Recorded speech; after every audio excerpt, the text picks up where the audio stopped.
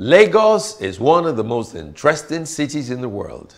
This is Lagos, is a signage that welcomes residents and visitors into this great city.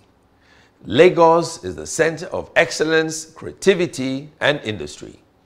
Lagos is the commercial nerve center of Nigeria.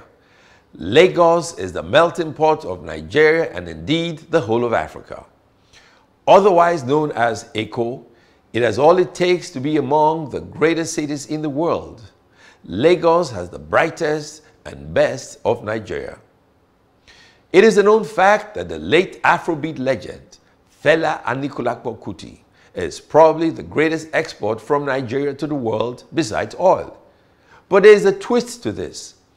While Nigerians travel to Johannesburg to see Nelson Mandela's house, which has been transformed into a museum, Fela's house was burnt down and his ruins demolished.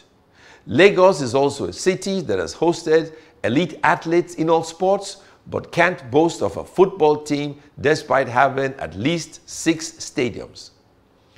The Onikan Stadium in its glorious days played host to the great Pele, James Brown, and the legendary Nigerian football teams, stationery stores, Rangers International, IICC, and the mighty Jets of Jos, among others. Great cities such as Liverpool, Manchester, Barcelona, Madrid, Milan, Munich, Paris are more popular today because of the football teams representing the cities and their fans across the world. The Lagos Stadium in Surulere was named after the great Teslim Balogun. But how many people today know the man whom the edifice is named after? Reactivating the stadiums and keeping them busy will get many people out of the unemployment market and have a spiral effect on other businesses relating to sports and tourism. With a stroke of Governor Babajide Sanwo-Olu's pen, that industry could change.